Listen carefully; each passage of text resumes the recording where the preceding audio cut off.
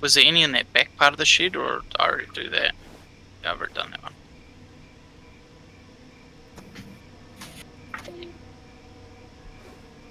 Wait, come to the house. I, on my way. I'm just gonna count how many petrol canisters we have. One, two, three, four, five, six, seven, eight. We've got them all. We've got all we need. Alright. I just need to. Oh my fuck!